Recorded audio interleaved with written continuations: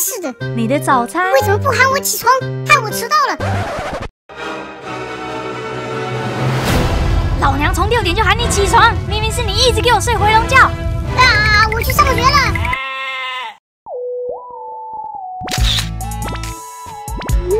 妈妈准备了炸鸡，记得早点回家。什么时候回家？回来啦！我去热炸鸡。我在志旺家吃过了。这么晚回家，发消息也不回，在外面吃不早，说炸鸡都浪费了。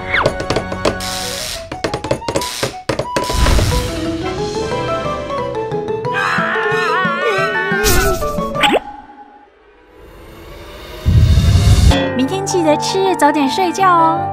嗯，这是好脾气辣条，放进嘴里，脾气就会变好。连送粉底都能做错，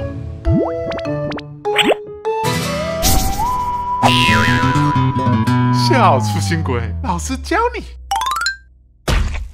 这么晚才回家，我饿死了。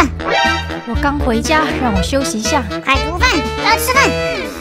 你小子敢这么和我说话？